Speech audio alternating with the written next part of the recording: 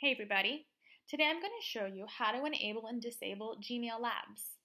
Now labs are a really popular feature of Gmail, but sometimes there's ones you as an administrator may want to turn off, or say you're an end user and you, you're looking for a lab that you've heard about, but you can't find it. It's possible that your administrator has disabled that lab. So just to remind you, I'm going to show you where the labs are. So in Gmail, you'll go to Settings, and then you'll select Labs here. Now you can see here that most of the labs are available, most of them are disabled, but this is where you can see what labs are available in your Gmail account. Now we're on the admin side and say you want to disable some of the labs. To do that, you'll begin in the console and go to Apps.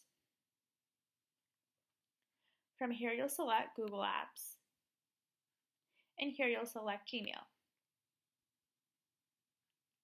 Now you'll scroll down and here you see Labs.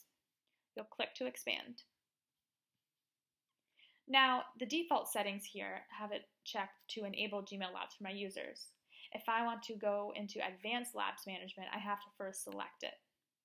And once I select it, you'll see that this menu appears. And this menu lists all the labs available in Gmail Labs. It's a lengthy list. But if there's a few you your end users just don't need to see, don't need to use. All you have to do is select from the menu on each lab available, and you can select enabled, disabled, or allowed, which is the default. If you've made changes, just select save when you're done. And then whatever settings you've chosen to set will push down to your end users. This has been a really popular uh, request from our audience, so I hope you find it useful. And uh, continue to use Gmail Labs. Thanks for joining us. See you next time.